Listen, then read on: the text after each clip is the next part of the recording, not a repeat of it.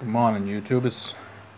I got a tip for you today, how to remove tonsil stones. I'm not a doctor or anything of the means. I had tonsil stones in the past. I understand the hell they can go through with tonsils swollen up. So I'm going to give you what I use. They told you to use, uh, told me to use Q-tips and stuff like this, which I gagged and it was pretty horrible. So uh, came up with using a water pick. Yeah, water pick. You can get one of the the ones that pump that you can control. Put it right in your tonsil, start spraying. You'll see the the stones start coming right out. And also another tip for you to kill the bacteria of the tonsil stones is you can get food grade hydrogen peroxide. You could probably try the other peroxide, just don't swallow it. The um, one in the stores, the three percent. But I prefer to use food grade. Uh, I know it's safest. So uh, you take that you can put it in your water pick. You can either mix it with some solution of water, but I like putting it straight. Um, make the 35% down to 3% and put it straight because I've been doing it for so long. But you can do like a 50-50 mix. Spray it in your tonsil. Don't swallow. Let it sit there. It will foam up.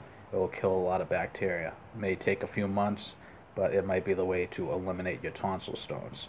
Please like, subscribe if you want to see more tips. Alright, take care guys. Until next time. Good morning, YouTubers. Johnny Del back with an update. Um, I made my last video. I wasn't really prepared. I was just, uh, I wanted to get information out there to help people with tonsil stones. But I had no idea I was going to get over a thousand views and hopefully get that information to help some people out there. So I just wanted to be a little bit more detailed about it. Showed you, show you my uh, water pick I use. Um, and also uh, some people say they don't use the power water pick because it's too powerful. When you start, you start out slow. This is the water pick I use. It's got a little pump here. You fill it inside. Fill that up with water. I, I also put my uh, hydrogen peroxide in there.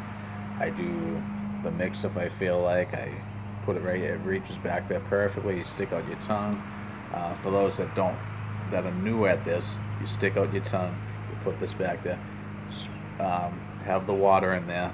Spray softly at first, see if you get any stones out. Go around the stones. You can even push on your tonsil with this flat and push, get the tonsil, the stones a little loose. Spray, stick in your tonsil, spray. Just start out slow because you can hit your um, nerve inside here and it can be a little painful when it's swollen up, but you get used to it. When you're done, you get the stones out that's when I put the hydrogen peroxide in. um, I used grapefruit extract before and I used to gurgle with it.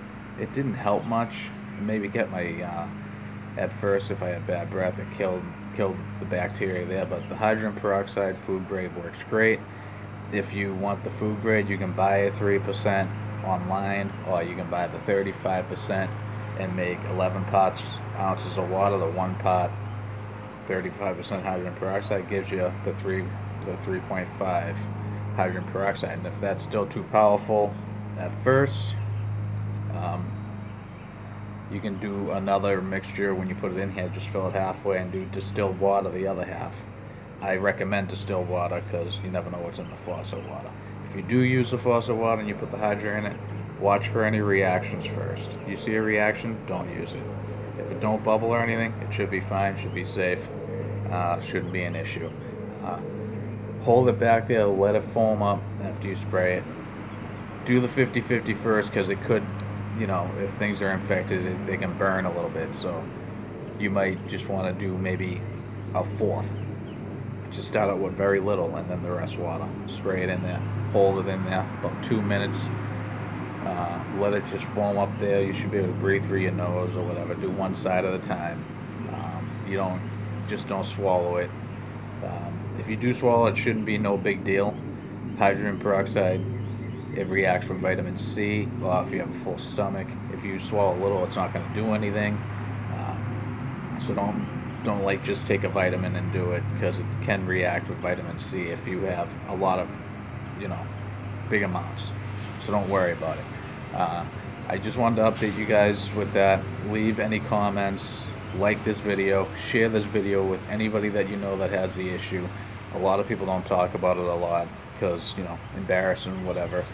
I had the issue for, since I was 28, uh, about eight years.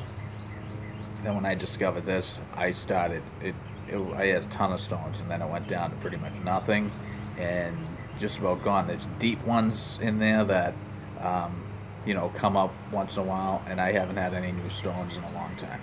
Good luck.